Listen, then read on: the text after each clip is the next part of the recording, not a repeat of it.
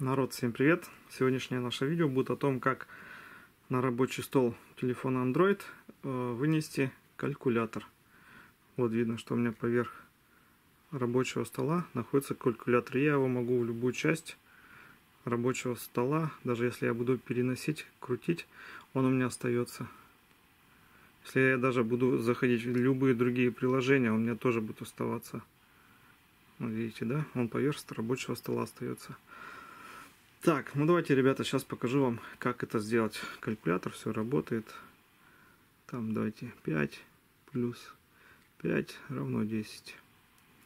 Так, закрываем его. И сейчас я, ребят, покажу, как это сделать. Для этого нам необходимо зайти в папку «Инструменты». Там, где находится сам непосредственно у нас калькулятор. Далее нажимаем «Калькулятор». Появился калькулятор. Ну, вот то, что я писал, 5 плюс 5 равно 10, да? И надеюсь все знают, что так. А, и вот здесь в верхнем левом углу есть такие две стрелочки, совмещенные друг к другу. Мы вот их нажимаем и все. Поверх рабочего стола или любого другого приложения у нас будет находиться, ребята, калькулятор. А, также, смотрите, мы можем а, на калькуляторе, ну вот он сейчас тут в маленьком формате, мы можем увеличить его формат. Также в левый верхний угол нажимаем стрелки – калькулятор полностью раздвинули на весь экран. Хоп, сузили.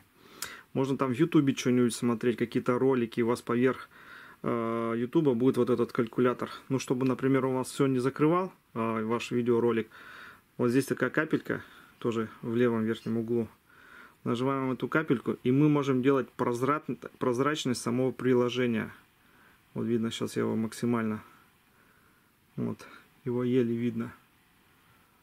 Видите, с помощью этого можно еще играть видимость, прозрачность самого калькулятора производить. Ну и закрывается он элементарно крестиком.